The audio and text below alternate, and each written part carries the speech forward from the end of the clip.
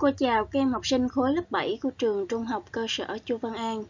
Hôm nay chúng ta sẽ ôn tập để chuẩn bị cho bài kiểm tra cuối học kỳ 1 môn lịch sử và địa lý. Về nội dung kiểm tra sẽ có hai phần. Phần 1 là phần trắc nghiệm gồm 4 điểm, phần 2 là phần tự luận 6 điểm và thời gian làm bài của các em là 60 phút. Về nội dung ôn tập, ở phân môn lịch sử, các em sẽ học bài 6, 8, 9 và bài 10. Ở phân môn địa lý, các em sẽ học bài 5, 6 và bài 7. Chúng ta sẽ bước vào ôn tập phần trắc nghiệm. Phần A là ở phân môn lịch sử. Các em hãy chọn đáp án đúng nhất cho mỗi câu hỏi. Câu 1. Hai triều đại phong kiến không phải do người Hán lập ra là Đáp án đúng đó là câu C. Nhà Nguyên và nhà Thanh. Câu 2. Trung Quốc thời phong kiến phát triển rực rỡ cả về chính trị, kinh tế và văn hóa dưới thời kỳ của các triều đại nào? Câu đúng đó là câu B. Nhà Đường, nhà Minh và nhà Thanh. Câu 3. Nội dung nào sau đây diễn tả sự phát triển của kinh tế Trung Quốc dưới thời đường? Câu đúng đó là câu D. Con đường tơ lụa trở thành tuyến đường buôn bán quốc tế. Câu 4. Để phát triển nông nghiệp, các vị vua đầu triều nhà Minh và nhà Thanh thường ban hành những chính sách gì? Đáp án đúng đó là câu B. Giảm thuế, chia ruộng đất cho nông dân, chú trọng thủy lợi. Câu 5. Năm 320, Ấn Độ được thống nhất lại dưới thời kỳ của vương triều nào? Đó là vương triều Gupta, câu A. Câu 6. Đầu thế kỷ 6, vương triều Gupta phải đối mặt với khó khăn nào? Đáp án là câu D. Người Hung Nô và một số tộc người ở Trung Á tràn vào xâm lược. Câu 7. Nội dung nào dưới đây mô tả đúng về tình hình xã hội của Ấn Độ dưới thời Gupta.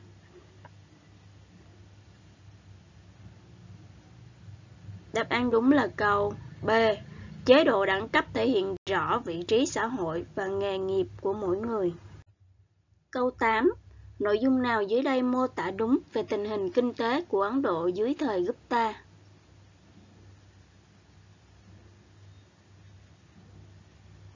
Câu A là câu đúng. Thương mại khá phát triển ở thành thị, đồng tiền được lưu hành rộng rãi. Câu 9. Vương triều Delhi được thành lập bởi người Hồi giáo gốc nước nào? Đó là Thổ Nhĩ Kỳ, câu A. Câu 10. Dưới thời Vương triều Delhi, thương nhân Ấn Độ trao đổi với các nước Trung Á và Tây Á để lấy những gì? Đáp án đúng là câu D. Hàng hóa, ngựa chiến. Câu 11. Nhà văn hóa, nhà thơ lớn của Ấn Độ dưới thời kỳ Vương triều Delhi là Đó là câu C. Kabi. Câu 12. Đế quốc Mughal được thành lập bởi bộ phận người nước nào?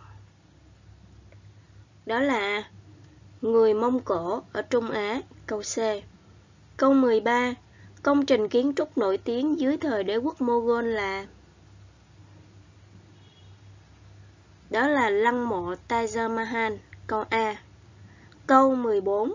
Những chính sách cải cách xã hội của vua Akbar có tác dụng như thế nào?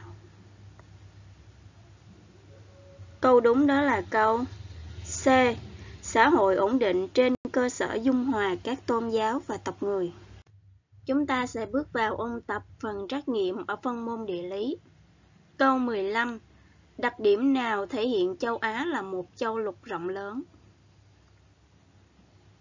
Câu đúng đó là câu D.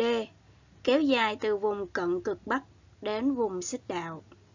Câu 16. Đồng bằng nào sau đây không thuộc châu Á? Đó là đồng bằng trung tâm, câu C. Câu 17. lãnh thổ châu Á có một số đảo và quần đảo kéo dài đến đâu? Đáp án đúng đó là câu D. Kéo dài đến vĩ tuyến 10 độ Nam. Câu 18. Nhận định nào sau đây không đúng về sông ngòi ở châu Á? Đó là câu C. Ở Tây Nam Á và Trung Á, sông có lượng nước lớn. Câu 19.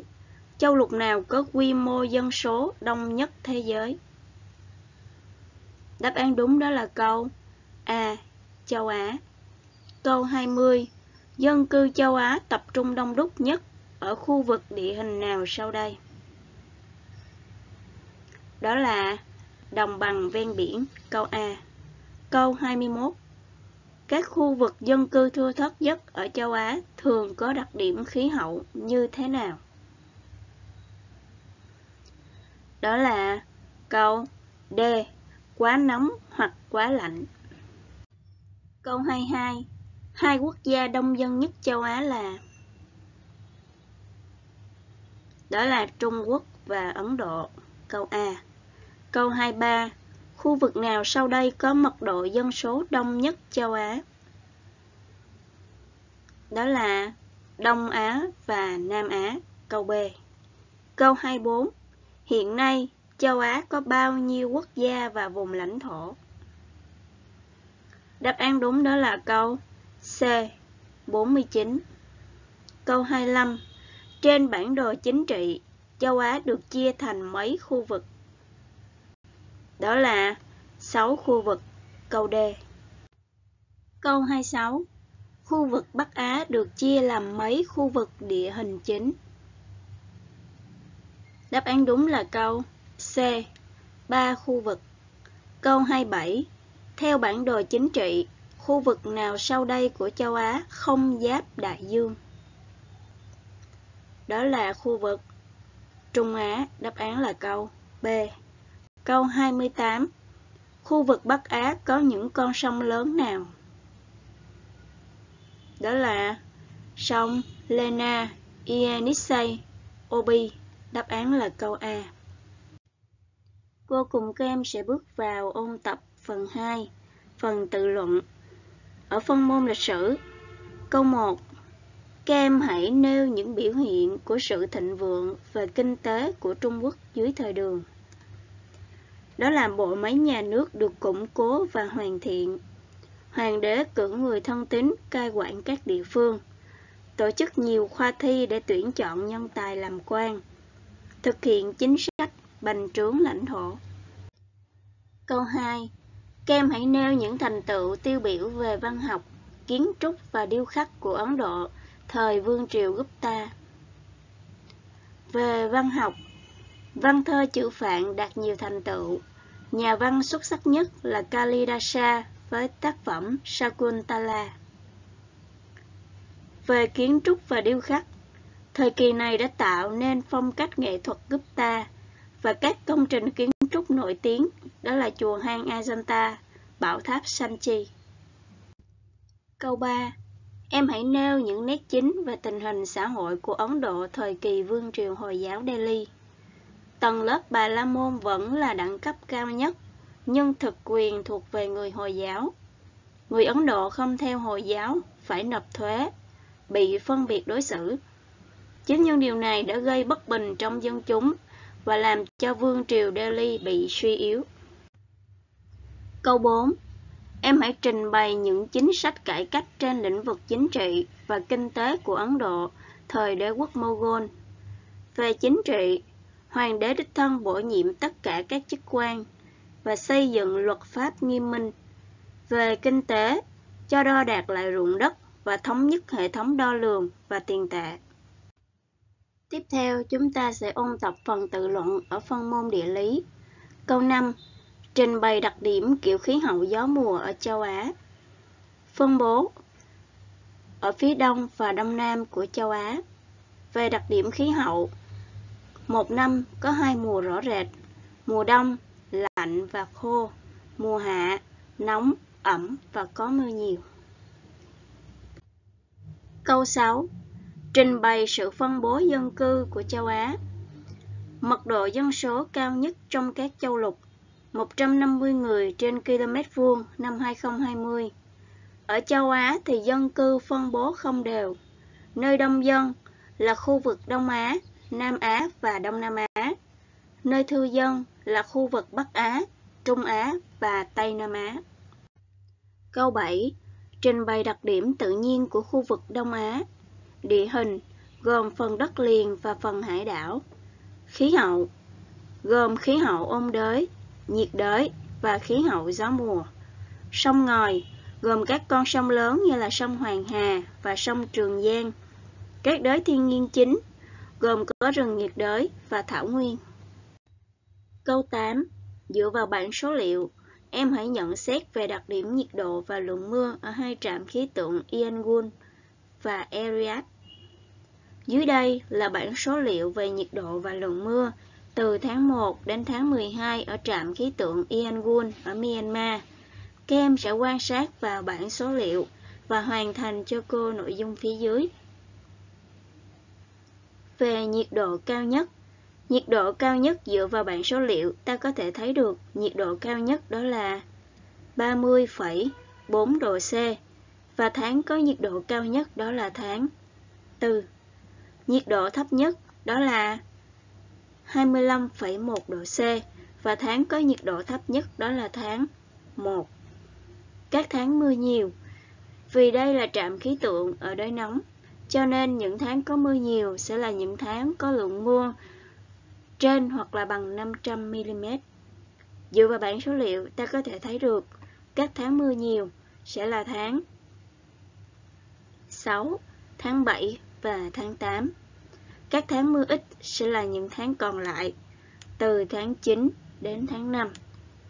Về kiểu khí hậu, quan sát vào bảng số liệu và kết quả chúng ta vừa làm xong, thì các em có thể thấy được nhiệt độ cao nhất là vào tháng 4 và những tháng có mưa nhiều, tháng 6, tháng 7, tháng 8.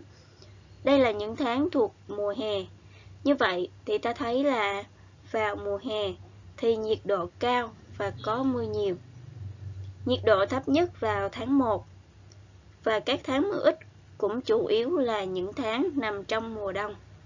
Như vậy thì chúng ta thấy là vào mùa đông thì à, khí hậu lạnh và khô hơn. Cho nên ta kết luận đây là kiểu khí hậu, nhiệt đới gió mùa. Chúng ta tiếp tục bước vào phân tích trạm khí tượng ở Eriat, Ả Rập Xê Út. Các em cũng quan sát vào bảng số liệu về nhiệt độ và lượng mưa từ tháng 1 đến tháng 12 và các em cũng hoàn thành cho cô nội dung phía dưới. Về nhiệt độ cao nhất, nhiệt độ cao nhất ta quan sát thấy được đó là 33,5 độ C và tháng có nhiệt độ cao nhất đó là tháng 7 và tháng 8.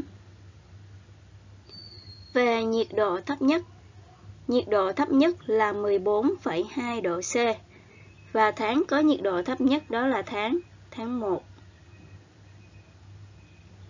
Về các tháng mưa nhiều, vì đây cũng là ở đới nóng, cho nên những tháng mưa nhiều sẽ là những tháng có lượng mưa trên hoặc là bằng 500mm.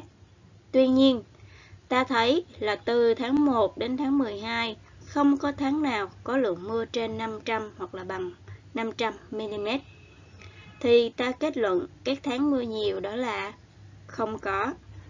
Các tháng mưa ít, đó là từ tháng 1 đến tháng 12. Về kiểu khí hậu, thì các em thấy nhiệt độ cao nhất tháng 7 tháng 8 là vào mùa hè. Và mùa hè, những tháng mưa nhiều cũng là không có tháng nào có mưa nhiều. Và thậm chí là ở đây vào mùa hè thì còn không có mưa. Như vậy ta thấy mùa hè là nóng và khô. Còn vào mùa đông, nhiệt độ thấp nhất là vào tháng 1. Và vào mùa đông thì ta thấy là à, mùa đông có mưa, tuy nhiên là lượng mưa cũng rất là ít. Như vậy ta thấy là mùa đông cũng lạnh và khô. Như vậy tính chất chung của cái à, trạm khí tượng ở Ariad này đó là khô. Cho nên ta kết luận về kiểu khí hậu thì đây là kiểu khí hậu nhiệt đới khô. Ở phần dặn dò, các em sẽ học bài theo nội dung ôn tập trong bài giảng và hoàn thành các nội dung vào trong đề cương ôn tập. Cô chúc các em học bài và làm bài kiểm tra thật tốt.